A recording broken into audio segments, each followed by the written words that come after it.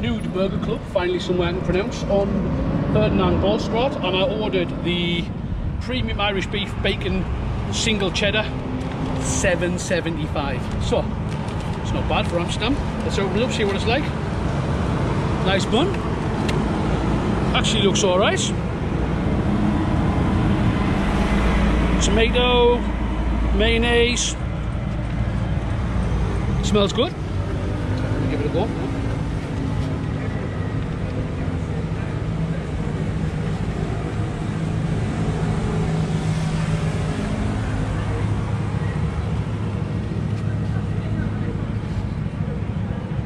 Good. Very good. Burger could be a little bit more seasoned, a little bit more salt and pepper. Uh,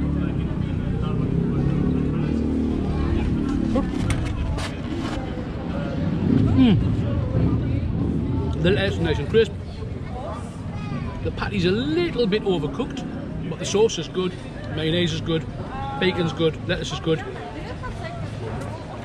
It's not a bad burger. For seven euros, 7.5. Good burger, good price. Nude Burger Club in the Pijp, Ferdinand Bolstraat. I would recommend it.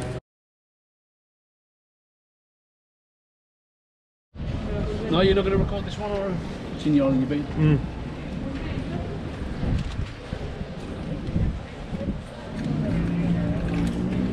Is that a corn bun?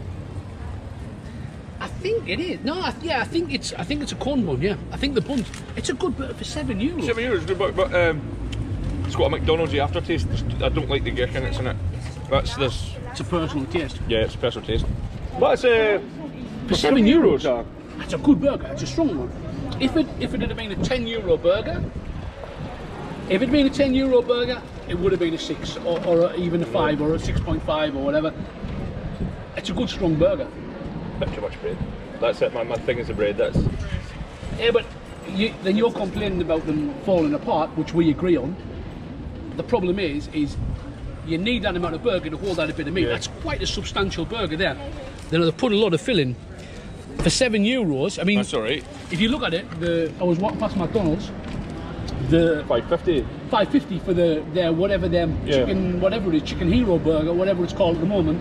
You know, I'm not endorsing McDonald's. This is way better. Yeah. Of, and it's fresh. You can see the meat is quite Yeah. good. Sometimes you've got to put your hand up for the little guy. Yeah. And the new burger club did well. Didn't embarrass himself. There'll be better burgers in Amsterdam, but they'll be a lot more expensive. Yeah. And that's